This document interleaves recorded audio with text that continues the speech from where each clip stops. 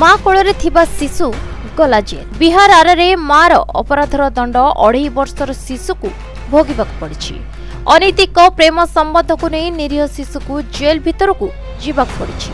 ମା ନିଜର ପ୍ରେମିକକୁ ହତ୍ୟା ଅଭିଯୋଗରେ ଜେଲ୍ ଯାଇଥିବା ବେଳେ ଶିଶୁଟିକୁ ମଧ୍ୟ ଜେଲ୍ର ଚାରିକାନ୍ଥ ଭିତରେ ରହିବାକୁ ପଡ଼ିଛି। ତେବେ ଘଟଣାଟି ଘଟିଛି କୃଷ୍ଣଗଡ଼ ଥାନା ଅଞ୍ଚଳରେ। ଗତ ସୋମବାର ଦିନ ଜଣେ ମହିଳା ରୁବି ଦେବୀଙ୍କୁ ଦେଖା କରିବା ପାଇଁ ପ୍ରେମିକ ଚନ୍ଦନ ତିୱାରୀ ଘରକୁ ଆସିଥିଲେ। ତେବେ ମହିଳା ଏବଂ ତାଙ୍କ ପ୍ରେମିକକୁ ମହିଳାଙ୍କର ସ୍ୱାମୀ ଆପତ୍ତିଜନକ ଅବସ୍ଥାରେ ଦେଖିଥିଲେ।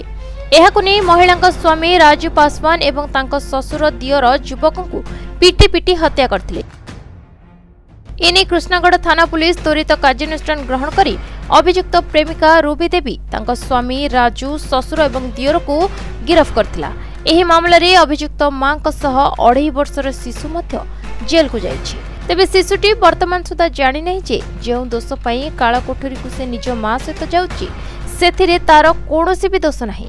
ତେବେ ଅଭିଯୁକ୍ତ ମହିଳା ବର୍ତ୍ତମାନ ନଅ ମାସର ଗର୍ଭବତୀ ଥିବା ମଧ୍ୟ ଜଣାପଡ଼ିଛି।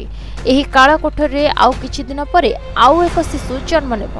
ପୁଲିସ ଯେତେବେଳେ ଅଭିଯୁକ୍ତ ରୁବି ଦେବୀଙ୍କୁ ଏହି ହତ୍ୟାକାଣ୍ଡ ବାବଦରେ ପଚରାଉଚରା କରିଥିଲେ ସେତେବେଳେ ମୃତକ ଚନ୍ଦନ ସହ ତାଙ୍କ ପ୍ରେମ ସମ୍ପର୍କ ମିଛ ବୋଲି କହିଛି ରୁବି ଏହା ମଧ୍ୟ କହିଛି ଯେ ଚନ୍ଦନ ଏବଂ ତାଙ୍କ ସ୍ୱାମୀଙ୍କ ମଧ୍ୟରେ କୌଣସି କଥାକୁ ନେଇ ବିବାଦ ହୋଇଥିଲା।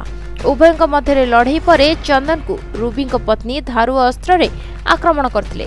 ତେବେ ଚନ୍ଦନଙ୍କ ମୃତ୍ୟୁ କେମିତି ହେଲା ତାକୁ ନେଇ ସେ କିଛି କହିନାହାନ୍ତି। Bureau report Pratidin TV.